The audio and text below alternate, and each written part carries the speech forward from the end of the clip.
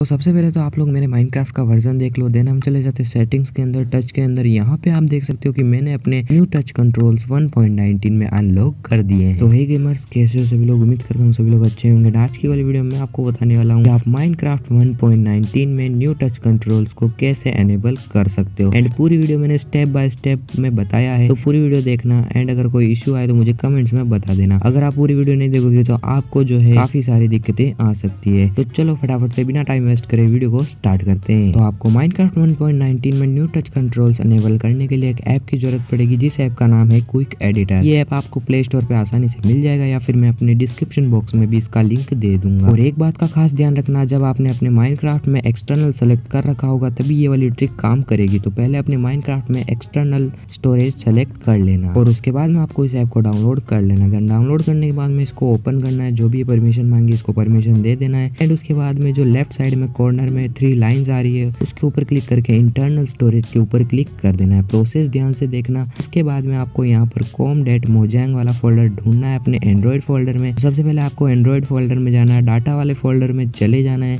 And उसके बाद में यहाँ पर आपको कॉम डेट मोजाइंग वाला फोल्डर ढूंढ लेना है। तो सबसे पहले मैं भी ढूंढ लेता हूँ। प्रोसेस को बिल्कुल ध्यान से देखना एंड वीडियो को बिल्कुल भी स्किप मत करना। देन आप यहाँ पर देख सकते हो कॉम डॉट मोजाइंग वाला फोल्डर यहाँ पर आपने सामने आ चुका है।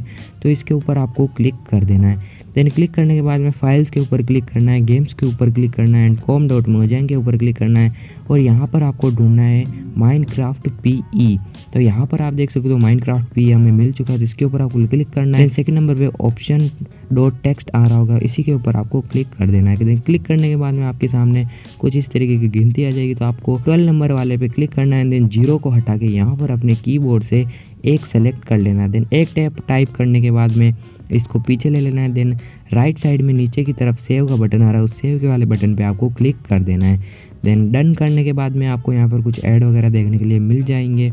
उसके बाद में हमें अपना गेम खोल के चेक करना है कि न्यू टच कंट्रोल्स अनलॉक हुए हैं या नहीं हुए हैं। तो सबसे पहले हम गेम खोल लेते हैं।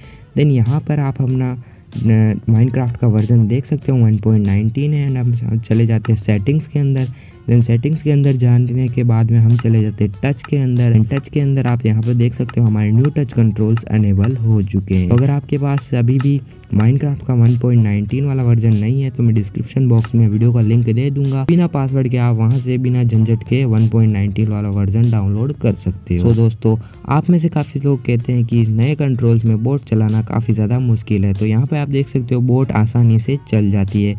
तो ये भी अपडेट में फिक्स हो चुका है। चलिए आज की वाली वीडियो में बस इतना ही ऐसी वीडियो और देखनी तो चैनल को सब्सक्राइब कर लेना एंड वीडियो को लाइक कर देना, बेल नोटिफिकेशन को भी ऑल सेलेक्ट कर लेना। आज की वाली वीडियो में बस इतना ही। मिलते हैं अगली वीडियो में। तब तक के लिए बाय